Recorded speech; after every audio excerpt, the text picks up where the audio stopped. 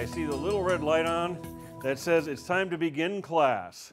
But first, before we begin class, let's have a little unscripted give and take about Gilgamesh or about anything pertaining to the class. Any questions? Any comments? I should try to look friendly and happy. Okay, go ahead, Devi. What do you got?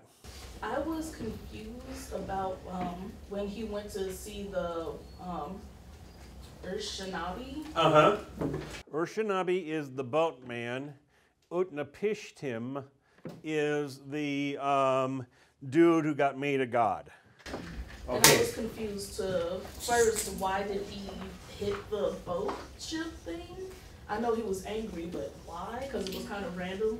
And then what was with the whole stick and him stripping naked and Naked, naked. Um, naked guy swimming around in my Gilgamesh text. Get him out of there. The my excellent answer, and we'll touch on this a little bit later, Devi. But since you asked, um, when one goes on a catabasis, and I think we're all in agreement here that this is the big catabasis that Gilgamesh goes on. That everything else is kind of like practice for this. The Humbaba thing, the um, Bull of Heaven story. This is Gilgamesh wandering to the edge of the world, trying to meet this Utnapishtim character to find out if he too can become immortal.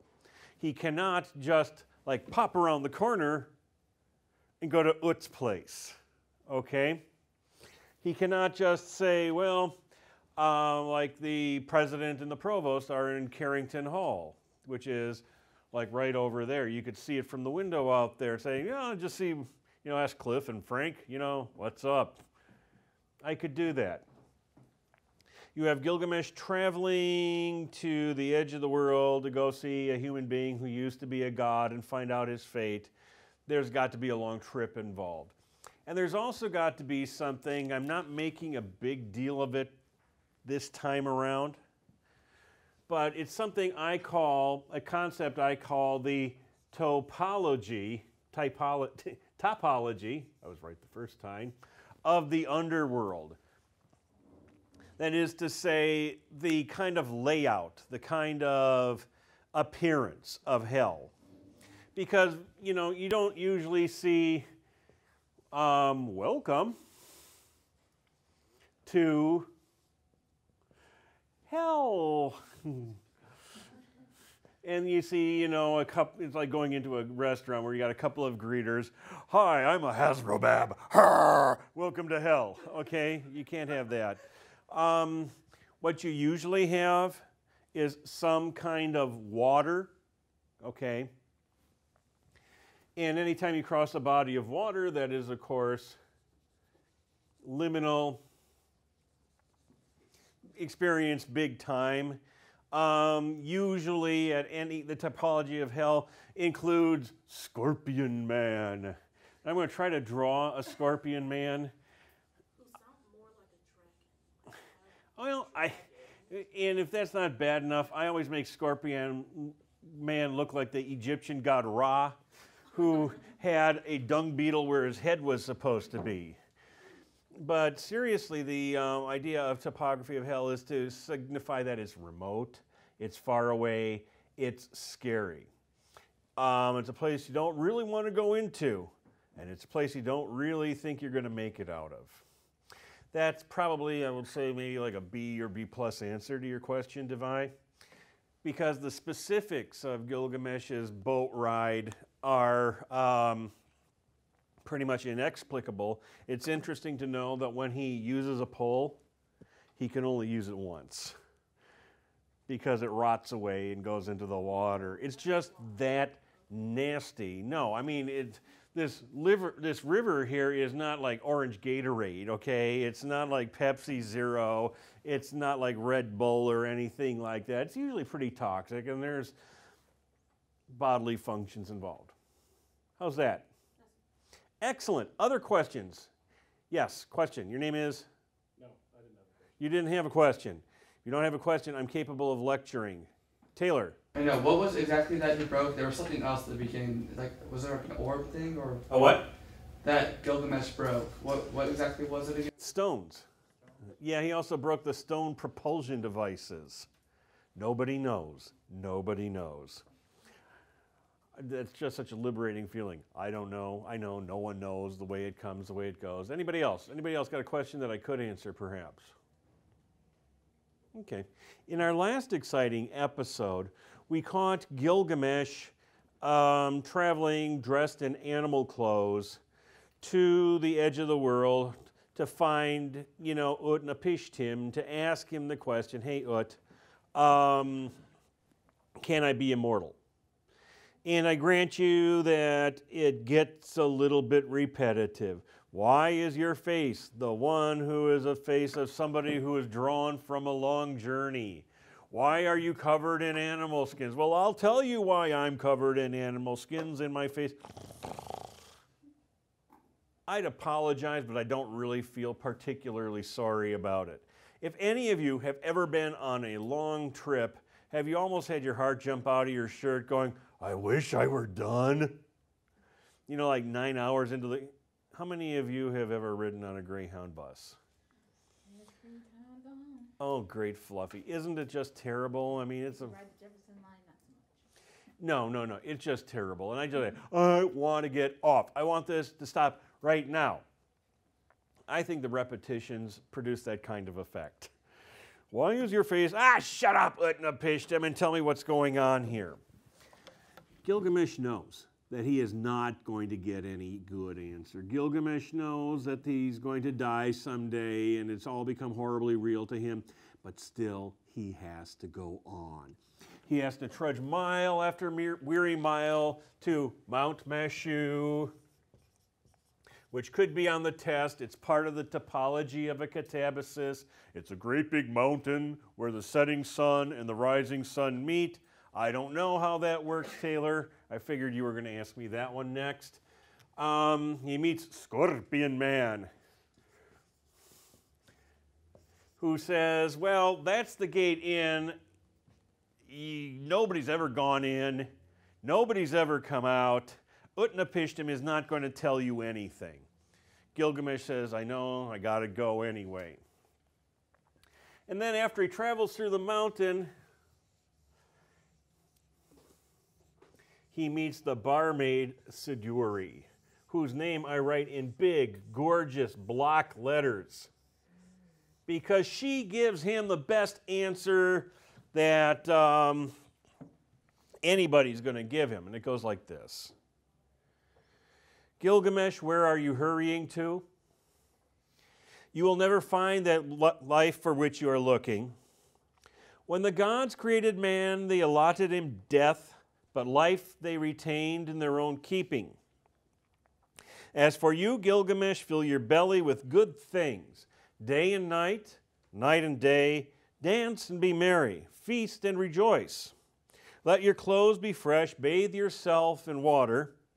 Cherish the little child that holds your hand, and make your wife happy in your embrace. For this too is the lot of man. If Siduri were not a Mesopotamian demigoddess, if she spoke Latin, she could just as well have been saying Carpe diem, seize the day. But all Gilgamesh really wants is directions. Siduri gives him directions to Ur-Shanabi. And, you know, getting back to Devi's question, um, Ur-Shanabi, like all boatmen who convey a hero over to the other side of the underworld, is kind of just annoying and vexed and just kind of a surly personality. Uh, what do you want? Ah, there's really no point in getting there. You know, ah, he ain't gonna tell you anything. Just get in the boat and take me there. The, vo- the voyage is long. It says here.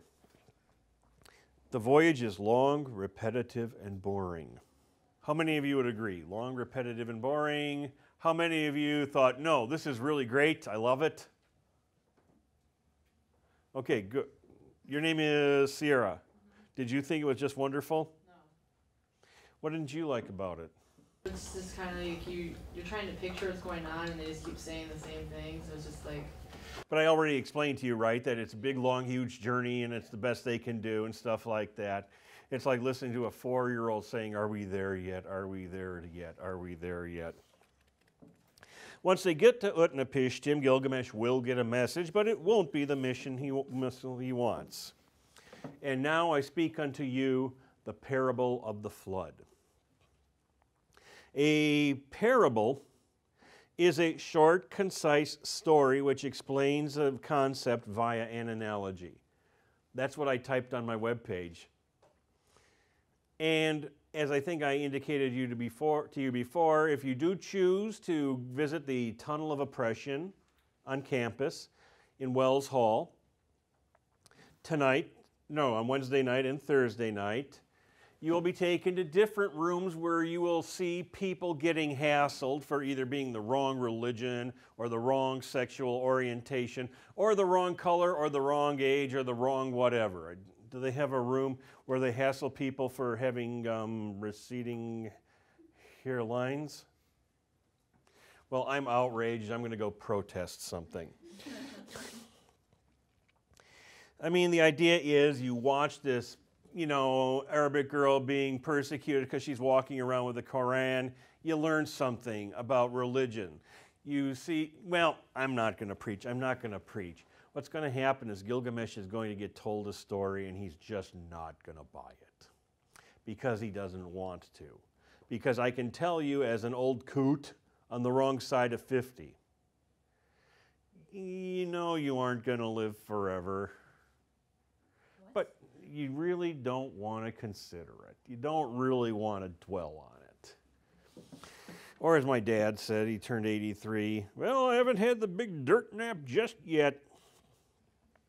Utnapishtim, the man who used to be a god, the god who used to be a man, sees this guy covered in beast skins walking up his beach. And we go through the why should not my cheeks be starved and my face be drawn sort of thing. Gilgamesh is probably looking kind of like this. Like that old guy in the Monty Python skit. It's, uh, you know, he's, I mean, and he's wearing animal skins. I don't know what animal. Maybe he'll be wearing zebra skins today. I have no idea. I was told that I should draw more on the board. Would you like to see more of these kinds of drawings? Well, they're supposed to be scary. Remember, Siduri was kind of scary when she saw him for the first time. And Siduri's a bartender. She's a goddess and a bartender for the gods. And she was still kind of scared. Good.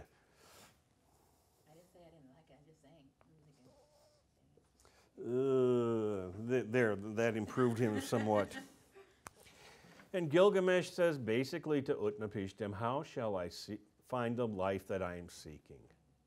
How do I get to be immortal too? And Utnapishtim lays it on him right from the start. There is no permanence. Do we build a house to stand forever? Do we seal a contract to hold for all time? Do brothers divide an inheritance to keep forever? Does the flood time of rivers endure? It is only the nymph of the dragonfly who sheds her larva and sees the sun in his glory. From the days of old, there is no permanence. I pause here. This is a general education class. There's a chance that we may have somebody in here who has taken a biology course may even be a biology major or know something about zoology. What's the idea about a dragonfly shedding her larva? Anybody? I'm not exactly Mr. Science Boy over here either, okay? I'm guessing it's the same thing as a caterpillar forming a cocoon and kind of like pooping out a butterfly after that is, you know, all said and done. The ancients were very impressed by these things. Heck, I was when I was a little kid. Not so much that I ever wanted to take biology or do my biology homework, so I didn't and got a very bad grade. But other than things like snakes, butterflies, and nymphos or whatever, um, nothing ever gets born again. But if you must, I guess I'll tell you a story.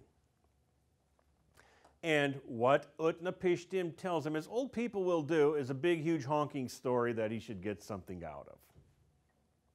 It's about how he and his wife, Mrs. Utnapishtim, I call them the Utnapishtims, became gods, and he says, I will reveal to you a mystery.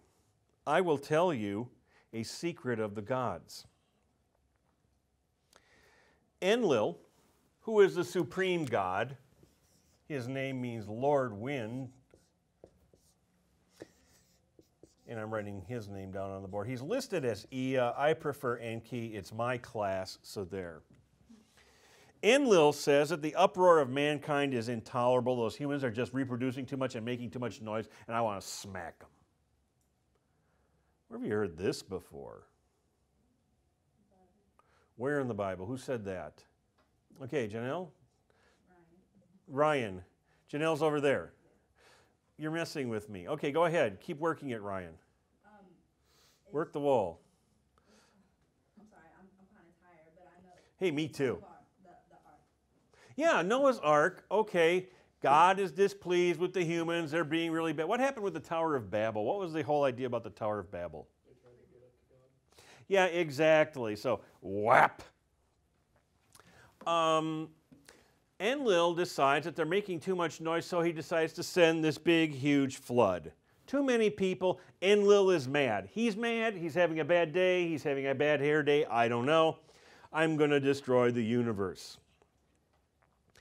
Enki, otherwise known as Ea. I like Enki better. The name En, En hyphen means Lord. Enlil is Lord Wind. Enki is Lord Water.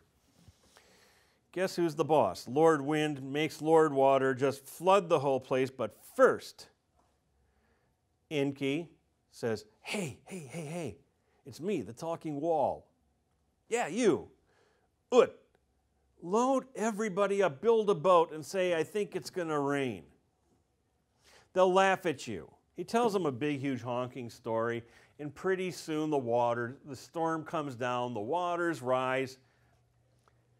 Utnapishtim is scared. Mrs. Utnapishtim are, is scared. The animals on the boat are scared. Even the gods and goddesses are scared that they've kind of overdone this punishment thing. Finally, the SS Utnapishtim lands on Mount Nisir. Utnapishtim, sound familiar, comes out, starts offering a sacrifice to all the ancient Sumerian gods and goddesses. Ishtar shows up and says, Enlil, you're not invited, you jerk. The ancient Sumerian gods and goddesses are just like a bunch of bickering kids. And Enlil shows up, and then Shamash, I think, and Enki kind of tag team him to just, you know, say, yeah, nice going, destroying the whole world. Why didn't you just like bore them to death? Why didn't you just, you know, make them get sick and die? You almost took us out with that stupid flood of yours, Enlil. Enlil thinks fast. He's got to do something to make it up to the other gods and goddesses to show he's a regular deity. He says, okay, you and you, Mrs. Utnapishtim, Mr. Utnapishtim, you are hereby gods. The end. Was it because they were good people? No. As a matter of fact, are the gods and goddesses even good people in Mesopotamian myth? No. Pardon? Yeah, you have a good point, Devi. You know, the other answer is, of course they are. And I start backing towards the door before the lightning hits me or something like that. But um, this is a parable. Basically, the gods are jerks. You know, Enlil gets mad, almost destroys the universe. Ishtar starts screaming at Enlil. Enki and Shamash start screaming at him. They decide to just make a human being a god and God at, at, at random. The obvious lesson is Who's going to do this for you, Gilgamesh? The answer is nobody. You might as well deal with it. I pause. The next exciting segment will be called Oh to Be Young Again. Um, speaking as somebody who has passed the sunny side of 50, I don't really do much to try to be young again. My hair has turned gray, my beard has turned gray. I'm just happy that these particular hairs are still in my head. Okay?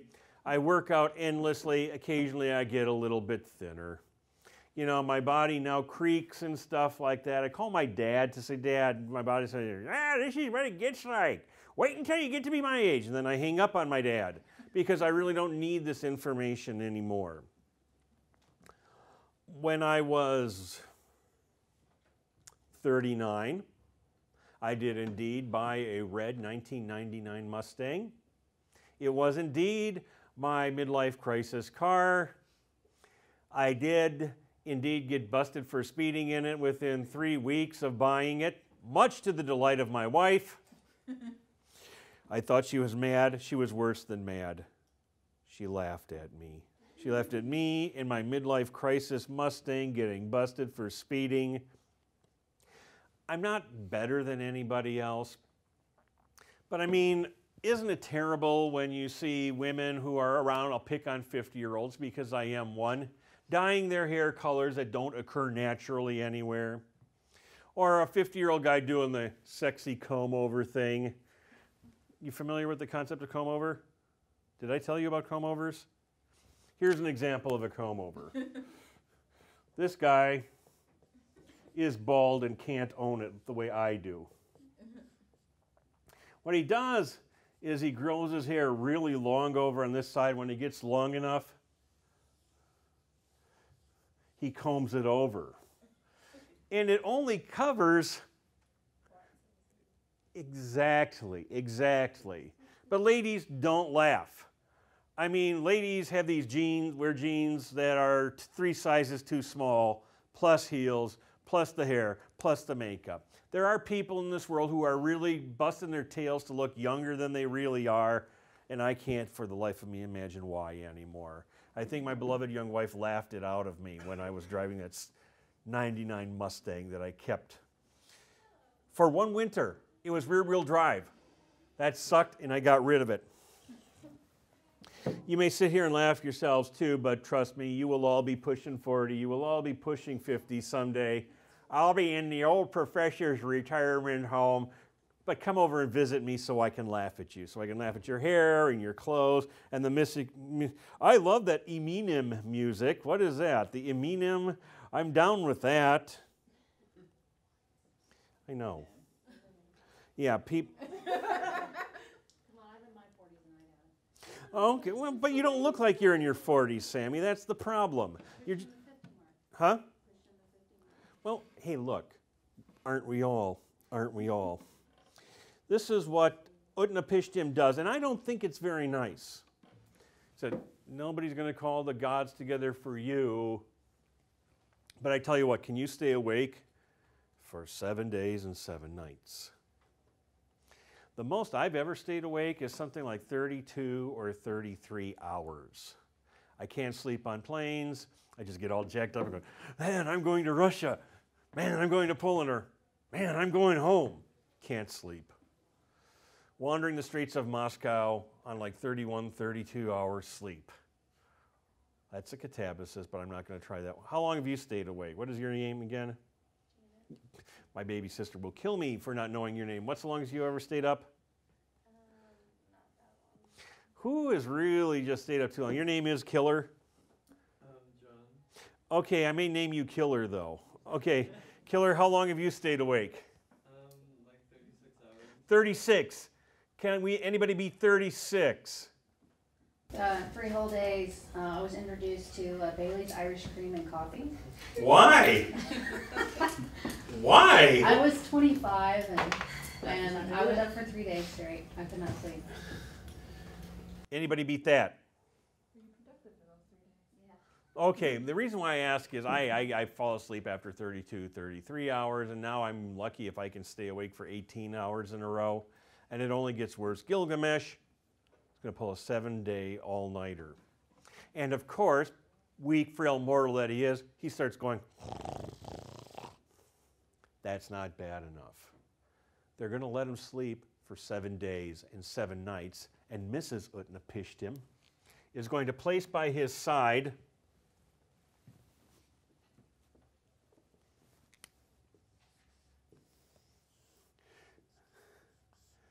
This is kind of like a cuneiform.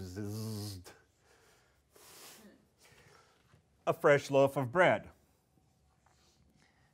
And then the next day, another fresh loaf of bread. Meanwhile, this one's starting to get kind of gamungi. You understand gamungi. For seven straight days, she puts a new loaf of bread next to him. The day seven bread is still good. The day six bread is kind of iffy. The day five bread's got mold. The day four bread has got mold and stinks. The day three bread has dried up to about this size. How am I doing? Well, how about day two? It looks like somebody's intestines. and the day one bread is just so nasty, words can't even describe it. And he wakes up, he says, Well, am I a God yet?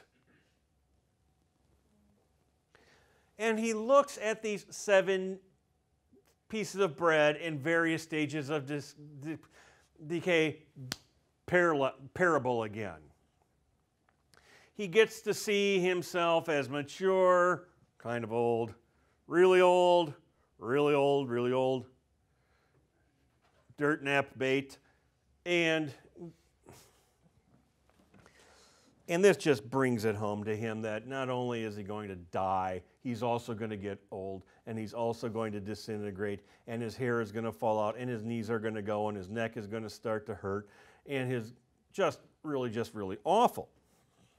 At this point, Mrs. Utnapishtim, oh, well, I, got to say, I got to say, Utnapishtim is willing to dress him up in nice, clean clothes and send him home. Here, you get a brand new suit. Clean up. I'm sending you home. Mrs. Ut, yeah, Taylor? I was gonna say, um, didn't he offer him to be a god first though? I don't remember. Did you say? that? Basically, it's if you can stay awake for seven days and seven nights, you can become a god. Um, it's like, you know, Taylor, if you can stay awake for seven days and seven nights, I'll give you an A in this class. Or I'll name you King of England after, que- after Betsy dies. Okay. Twenty-four hours of sleep, I can do No, now. Now? I mean, I'll give you a million dollars. It's just unbelievable. He can't do it. They're just rubbing his. If only the, it's like if my dog had opposable thumbs, she would rule the world. The um, it's just really nasty. So Mrs. Gil, Mrs. Utnapishtim says, "Now Ut, don't you think we should give him a present?" Okay, there is this plant. It's down at the bottom of the sea. It's contained in a pineapple under the sea. Actually, it's not. It's down at the bottom of the sea. It's got prickles and thorns and stuff like that. It's called The Old Men Are Young Again. And it says, okay, yeah, there's this plant. Sorry, honey, my wife's right. There's a plant down there. You want to swim down, you can have this plant. And it will make everybody young again, including your own bad self. And Gilgamesh immediately jumps down into the water, ties rocks to his feet, which is not encouraged, um, to dive down and get this thing. He gets it, brings it back into the boat. He says, Yes, I'm going to share this with all the old men in town. Yes! Hey, Urshanabi, boatman, get me home. It's time to be young again. Um, they make commercials about this kind of thing in the United States of today. um, they make makeup commercials. They make clothes commercials. They make Viagra commercials. There's what's this thing where the guy's throwing a football through a swing that's going back and forth. They're all marketing being young again, okay? Selling red Mustangs to 39 year old guys and stuff like that. There's a lot of money in making people my age feel like they're kind of young. Gilgamesh and Urshanabi pull up for the night, they sleep, and they find out that a snake has stolen the dang plant. Then he throws off his skin you know, because he's a snake, damn it. And um, Gilgamesh realizes that he is good and completely hosed.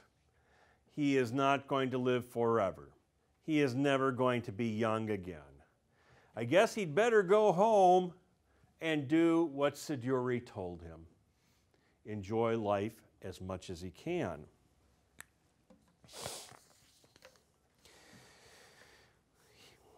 He sits down and cries. Here, I should draw some tears coming. Well, he now he's looking kind of like the Cyclops. Here's some tears. He's crying because he's very unhappy. It's finally dawned on him that he too is going to watch his body fall apart on him and go. I think that we can understand at this point what the preface of the poem is saying. The preface, you'll remember, and it's repeated at the end, says this was the, this too was the work of Gilgamesh, who knew the countries of the world. He was wise, he saw mysteries and knew secret things. He brought us a tale of the days before the flood. He went a long journey, was weary, worn out with labor, and returning engraved on a stone the entire story. It wasn't his epic wrestling match, his mano a mano duel with Enkidu, that made him so great. Although that was pretty good. It wasn't his epic adventure against Humbaba in the land of the living, in the forest with wood, where he's yelling out to Shamash, Hey, help me, Shamash, help, help me, Shamash. That was pretty good. But Gilgamesh's greatest achievement of all was growing up. At the beginning of the story, at the beginning of the tale, he's awful, he's terrible. He has none of the public affairsy virtues we have a right to demand in a hero taught at Missouri State University. I mean, he has no ethical leadership. He's the king, but he just runs around having sex with whatever he wants to because he's the king. He has no cultural competence. Basically, I'm the king and I can do whatever I want. That's not culturally competent. And his community engagement tends to take the form of having sex with people who attract his interest. All bad. But by coming into contact with Enkidu, the guy who was civilized by the quote unquote harlot Shamhat, by watching Enkidu die, by traveling after Enkidu dies, by coming into contact with all these wisdom fe- figures, by going on a catabasis, okay, Gilgamesh finally grows up and is able to accept his lot as a human being. He goes on some really great adventures. And he can't divide, just pop over to Craig Hall. He can't just go over to the get and go. You know, put a quarter in a machine and get wisdom dispensed to him, or put his credit card in the reader and have wisdom dispensed to him. He's got to travel, he's got to suffer. He has to have it beaten into his head in the worst possible way that he is mortal. And once he does, he cries, but he also writes it down. He also shares this story with his people, and he shares his story with us in an attempt to give us the benefit of his experience. Now, granted, when you're sitting in the waiting room in the hospital while someone you love is having surgery and you're dreading the surgeon coming to tell you really horrible, awful news and you feel like your brain's going to explode.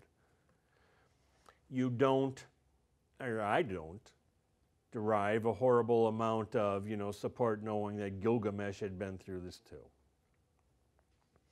But as I go through the day, as I read this story over and over again, I can't help but feel like, you know, this life I've been given, and I thank God for it, is a precious gift. It doesn't always work out the way I want to, but, you know, that's the way it always goes. Gilgamesh is told before he dies in a dream Enlil of the mountain says, In nether earth the darkness will show him a light. Of all that are known, none will leave a mountain for, monument for generations to compare with his. The heroes, the wise men, the, the new moon, have their waxing and waning. Men will say, Who ever ruled with might and with power like Gilgamesh? I wonder, you know, how people can say, Who else traveled so far? Who else told quite a story? Gilgamesh's story is great to me because, like everybody else in this room, well, you still are young. He was young. He thought he was going to live forever. He thought, you know, in certain contexts, he could do anything he wanted to. The rules didn't apply to him. And he found out he was wrong. And he learned how to deal with it. O Gilgamesh, Lord of Kullab, it says at the end, great is your praise. I pause now for questions that you want to ask me about Gilgamesh. Anything regarding to the story, anything regarding to what you might expect to see on a test down the line, anything at all. Yeah, go ahead. What kind of when he turned when he came back was he a better king or or do you know anything about that? I can only guess, Taylor, and I would guess the answer is cor- that he is indeed. You, if you go back and look in the text, you'll notice that when he announces that um, he's going to go fight Humbaba, the counselors of the town say, "Don't do it." Okay, they don't want him to go get killed. And it's the same thing when um, Gilgamesh dies. Um, they don't go, huh, hasta la vista, Gil, you know, dump him down a manhole. You know, there, there seems to be genuine grief at his passing. So I would infer from that that he does pick up some ethical leadership skills along the way. But again, I could be getting public affairsy. Other questions? Other questions? Going once, going twice. Yes, go ahead. Your name is?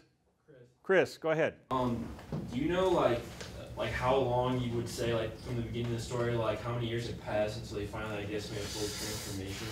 Good question. Good question. Um,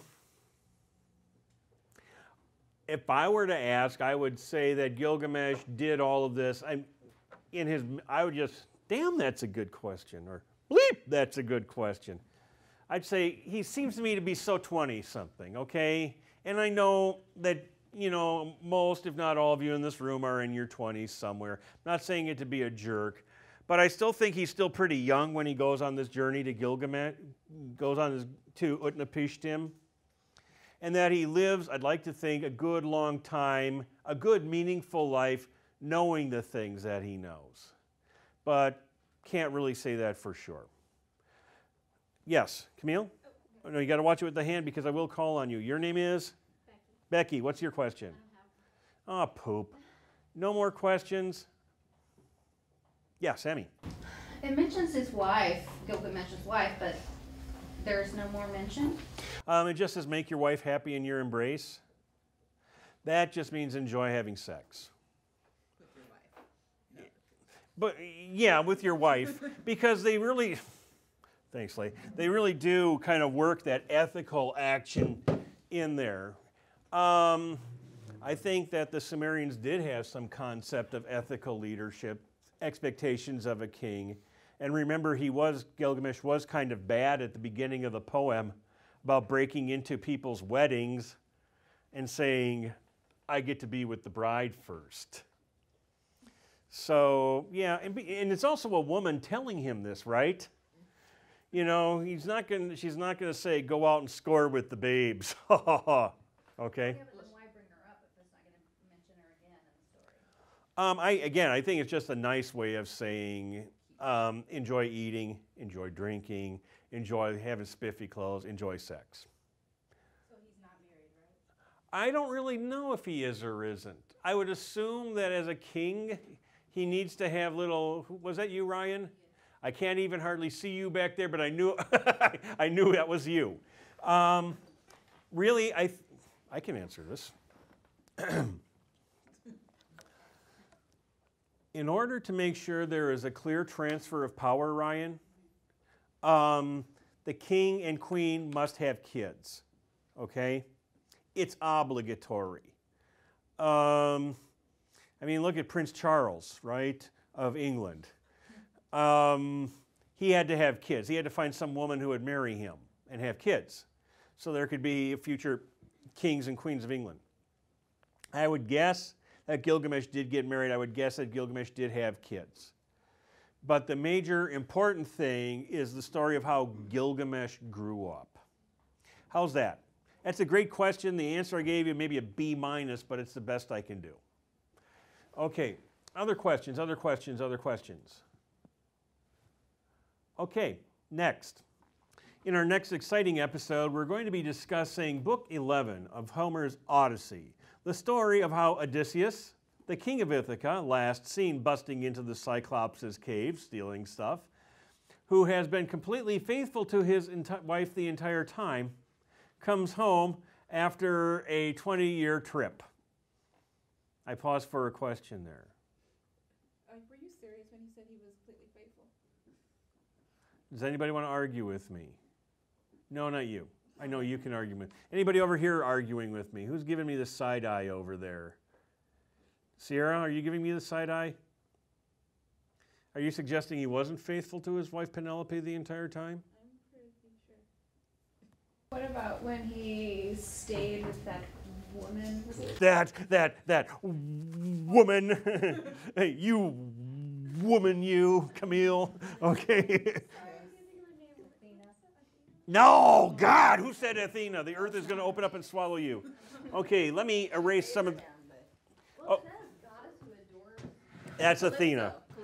Yeah, yeah, yeah. Okay, that's just something I say to get you interested. Odysseus did spend 10 years in the Trojan War. Odysseus did um, spend nine years wandering the Mediterranean for years and years, trying to get home to his wife Penelope. And yeah, it's true, he did have sex with Circe, the witchy goddess on the island of Aiaia. And it's true, too, that he did spend seven years as the boy toy of the goddess Calypso on her island in the middle of nowhere and stuff like that. But yes, he was faithful to Penelope the entire time. By the way, please feel free to argue with me on tests or in class. Sometimes I just speak utter and complete falsehoods just to get people to respond. I, I mean, I, much as I love the sound of my own voice, I like other people to talk to. Simply put, the year is 1200 BC. Here is my map of the ancient Greek and Asia Minor and ancient Egyptian world. We'll draw a happy little Italy over here, pervert, um, kicking Sicily over through the Straits of Gibraltar. I used to ask people if they recognized this until somebody flung up his hand and said, Yeah, that looks like my mom. the ancient Greeks live here. The, well, there. The city of Troy is over here. The city of Troy is lived in by Trojans. Wow. Yeah, I know. Did everybody get that down? Um, and basically, the Trojan War, so called 10 year Trojan War, where the Greeks fought a war to take Helen back from Troy, the ancient Greeks believed it happened. The ancient Greeks believed it happened, and they believed that the heroes, the Greek heroes of the Trojan War, were the greatest Greeks who ever lived. These included Achilles, the great warrior, um, Hector, who was on the Trojan side, but he was pretty spiffy too, a worthy at, um, opponent. There was Menelaus, Mr. Helen, he won't be on the test. But um, for some odd reason, in the movie Oh Brother, Where Art Thou, one of the characters is Menelaus past the pi- biscuits Pappy O'Daniel. Never did figure that out. After all is said and done, after the whole Trojan horse episode and stuff like that, Menelaus, who is Helen's husband, is going to kill her because he can. And Helen comes out, she says, Oh, hi, Menelaus. And she flashes him. And his brain goes gazong. And he forgets to kill her. Well, she is uh, Zeus's daughter, so. Well, yeah. Well, even Zeuslings get killed here. And Odysseus. The Iliad, which covers the end of the Trojan War, is not a poem about the Trojan War, really. It's about the last few weeks of the Trojan War, what happens when Achilles gets angry. Achilles gets angry because he has to give his slave girl back. He gets all huffy, and the Greek Trojans start to kick the Greeks' butts. I'm not going to get into the plot. It's basically, it's wonderful. It's just awesome. But it's also people just getting killed all the time. And if you think Gilgamesh is repetitive, I mean, just imagine some guy just like standing there and they throw a spear and it goes through his eye socket and it transfixes his eye to a post, kind of like an olive on a martini swizzle stick. And multiply that by about 24 books. I know that my colleague Dr. Nugent is going to scalp me if she hears me saying that, but I got to go with what I got. The people in the other great poem is the Odyssey, the story of how Odysseus gets home to his wife Penelope. It's important to me to give you a little bit of the backstory because just as Gilgamesh is like a oh crap. I used to be an 18 year old. You never believe it to look at me. I had long hair too, which I wore parted in the middle. We have pictures. I don't believe in photography. Um, that's a joke, get it? I'm parted in the middle. I remember having these two 18 year old buttheads living downstairs for me, and they played music too loud. They just made all this god awful racket. And when I came down and politely asked them to just shut the heck up, please, once in a while, I was trying to sleep, they said, Well, we're 18. We're on our own now. Nobody tells us what to do. Life will tell you what to do, okay? These dorks had a lot to learn. Their car got stolen from the carport. Hey, professor, professor, that car, car got stolen. Well, that's really sad. Darn. These people live by a code. It's called the heroic code. And Odysseus doesn't go by it at all. But the heroic code is kind of like the way Gilgamesh lives. Since life is short, death is eternal, you should enjoy living. You should enjoy the things of the body. You should enjoy food and drink and nice clothes as long as you want because you're going to die after that and it's, gonna, it's just going to be awful. Okay? That's pretty much what the Sumerians have to give us in 2800 BC. That's pretty much how the Greeks tell us in 1200 BC and in 750 BC when they write all this stuff down.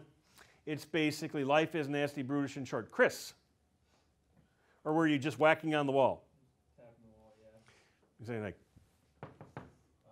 it's like SOS. You want somebody to come and bust you out of here. He won't stop talking. Help, help. It's the old, they even have an old guy who is 300 years old who talks all the damn time. His name is Nestor.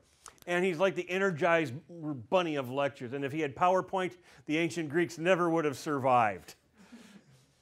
because he can tell you two hours about anything. Cloudy out there, Nestor. Why, I remember 231 years ago, back when I was. He's that boring, even more boring than me. The Iliad is what happens when Achilles gets mad. The Odyssey, Odysseus trying to get home to his wife.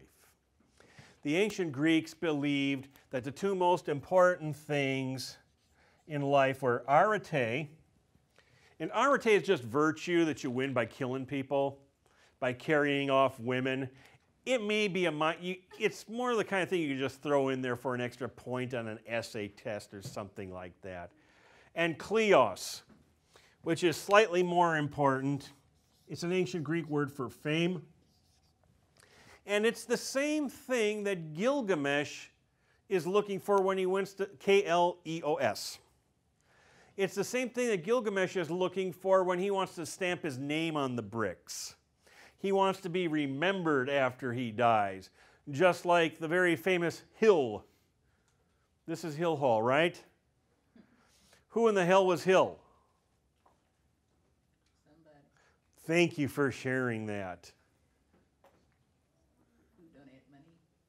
No. His name was Clyde F. Hill, and he was one of the presidents of the university early on. Craig was a professor. Um, Siceluff was a math professor. Um, now it costs you like $9 million to get something named after yourself. But I mean, these are the kind of things people do to win a name for themselves, okay? And they would rather get killed than be dishonored because even if you lead the ancient Greek side and women carried off, cattle mutilated, and cities sacked for eight straight years, all you do is just wuss out even once. And you have dishonored your name forever and ever and ever. Odysseus, on the other hand, makes it out of the battle. He just wants to get home to Penelope. Odysseus was the one of two draft dodgers in the entire Trojan War. Draft dodger number one was Achilles himself. His mom said, Achilles, I don't want you to go off to war because I'm a goddess and I know you're going to die if you go into war. But mom, I like to fight in war. War is good.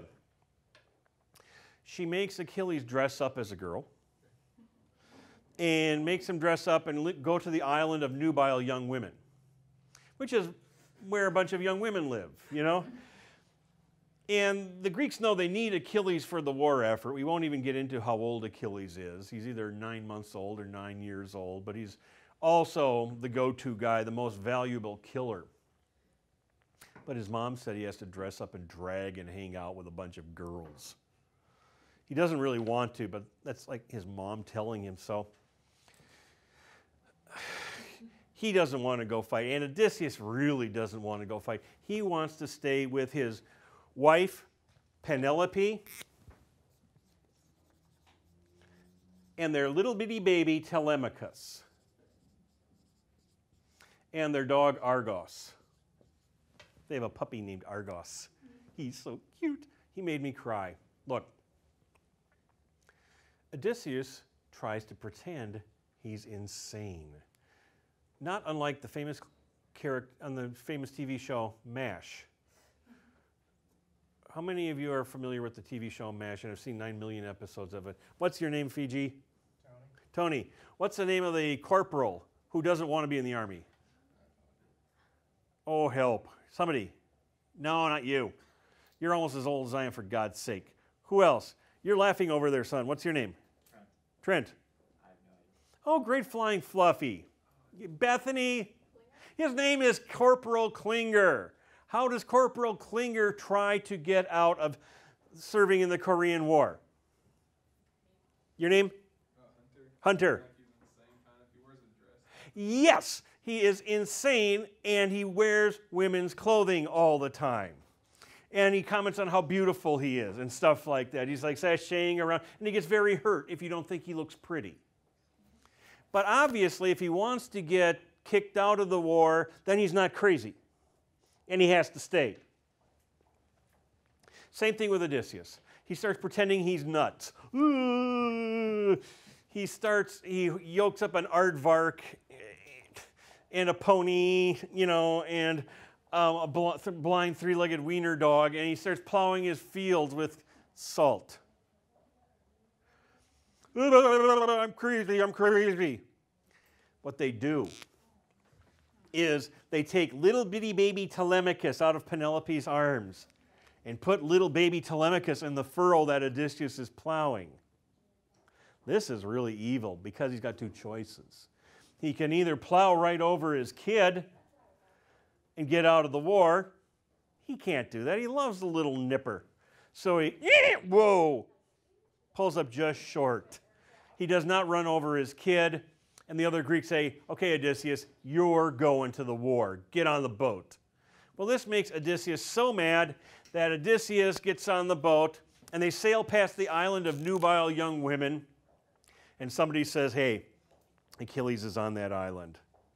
Oh, is he really? thinks Odysseus. Well, if I got to go to this stupid war over a woman, then um, so does Achilles. So this is what they do. They pull up to the island and say, um, We're traveling salesmen. We have all sorts of cute things like scrunchies and makeup and shoes and little coach purses and, you know. And they just list all this stuff out and they spread it out on a table. And all the nubile young girls come up, and they start looking, oogieing over the makeup and all the girly girl stuff and the foofy socks. And hey, I'm not a girl, I don't know. And then over on one corner of the table, there's like a rocket launcher and some grenades. And the really funny looking, strange, nubile young girl comes up to it. And she's kind of eyeing that stuff up. At this point, Odysseus blows his mighty war horn, or, or something like that. The girls stuff the goodies into their purses and go run away. The strange, tall looking girl grabs a rocket launcher, swings it around, says, Bring it. Achilles, get on the boat. And they go fight the Trojan War. The Trojan War had no winners at the end. A lot of the Greek heroes get killed too. Odysseus wants to get home to his wife. And just as Gilgamesh is the story basically of Chris, you know, you pointed it out when you asked me how old he is. You know, some young punk who grows up and hopefully has a nice life after he learns his lesson. Odysseus is an old married guy who hasn't seen his wife in like 19 years. And I'll give it away, I guess, when I tell you, yeah, I've been saying for years that Odysseus was faithful to his wife the entire time. Well, no, he did have sex with other females. He had sex with goddesses. You could argue on his behalf that if you are a mortal man and you run into a goddess who can help you or kill you because she's a goddess and you're only a mortal man, and she says, Sleep with me. What's a guy gonna do? You know, of course, she's really hot, but you guys gotta do what a guy's gotta do. The reason why I say that Odysseus was faithful to Penelope the entire time is as follows. For the first four books of the Odyssey, we don't see Odysseus at all. It's everybody else talking about him. Wish he'd come back. Uh, there's a bunch of suitors who are devouring all the food in Odysseus' house. And Penelope says to them, You know, you young pups, I will marry one of you one day. I'm just weaving this burial shroud for my father in law. The only two males with any brains in the entire Odyssey Zeus and Odysseus. All of the other males are stupid as rocks. Penelope says every night, I'm weaving this burial shroud for my father in law, and when I'm finished, I will, you know, decide which of you studs I want to marry. And every night she unravels it. And they're so stupid, they don't know she's unraveling it. She's weaving and putting things together. They're a bunch of dumb boys who chop things up into bits, and they just don't get it. Telemachus starts whining, Mom! He's about 19. Not to rat on anybody who's 19, he's about Gilgamesh's age. But where Gilgamesh is like a king who can run around and do whatever he wants, Telemachus is this prince stuck in the same house, his dad's house, his dad's gone, and these suitors are hassling his mom, and he's such a wimp he can't do it. Mom! This is what happens to Telemachus. Telemachus is whining, and all of a sudden he sees this guy named Mentor. Mentor is a wise old man, and he says, Telemachus, son, it's time to stop being a kid. It's time to grow the hell up. Get a bunch of guys together, get on a boat, and go ask somebody where the hell your dad's been. And stop your whining, you turd. And then he turns into a bird. and then he flies away. And Telemachus thinks, oh, that must be a god. No, it was not a god. It was a goddess. It was Athena changing herself into a bird to tell him, you twit, grow up. Then and only then, in the beginning of book five, do we see Odysseus.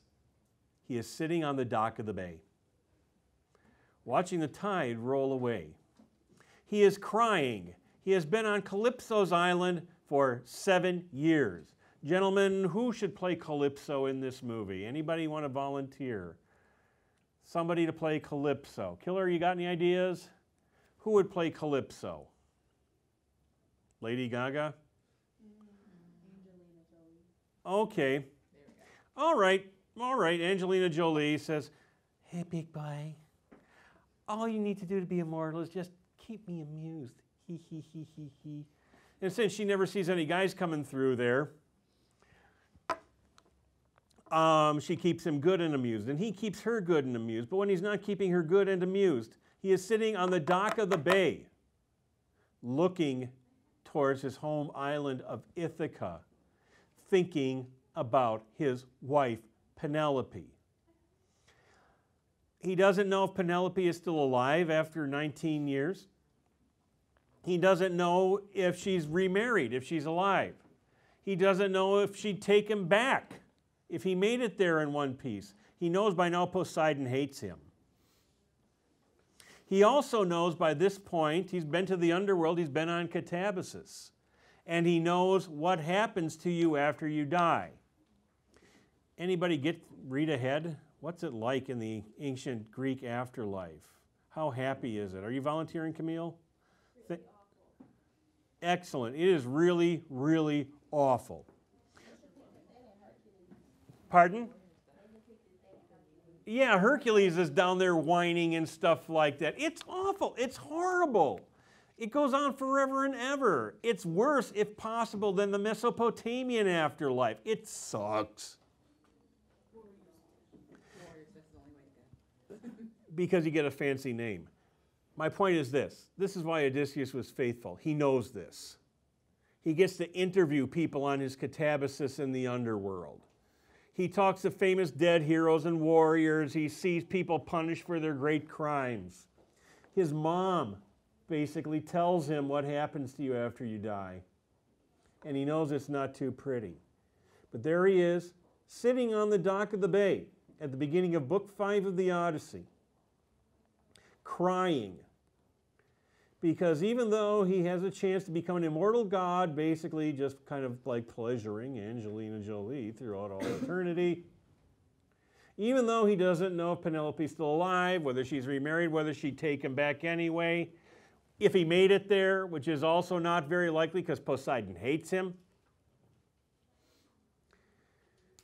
Athena says, Daddy, Zeus, you got to spring my man Odysseus. And the messenger god Hermes comes down to Calypso as one god to another, you know. Hey, Herm. Hey, Cal. Um, sorry, Calypso. I'm here from Zeus up on Mount Olympus. He has decreed that you have to let Odysseus go. What? Yeah, you gods. You gods are like male sluts. You go around and do it with everything that moves that you think is cute, and you get away with it because you're gods. But just let a goddess get her hands on a nice looking guy for a short little while. No, Calypso, you have to give her back. Calypso is very, very angry. She's hoping against hope that maybe Odysseus will want to stay. She is, after all, a goddess. She is going to make him a god, too, if he'll just. You know, what would Gilgamesh have answered to that? Sign me up! But no, Odysseus says, I want to see if I can make it home to Penelope. And he kind of does, and the story of what happens when they get together and is, in my estimation, just unbelievably gut splittingly funny. There's a war of wits between Odysseus and Penelope. But basically, in our next exciting class, we're going to take Odysseus on his catabasis.